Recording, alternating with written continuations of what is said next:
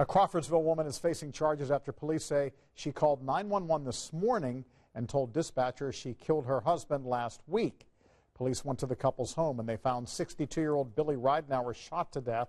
They arrested his wife, 55-year-old Sheila Ridenauer. Prosecutors charged her with murder and failure to report a dead body. Now, police aren't saying anything right now about a possible motive.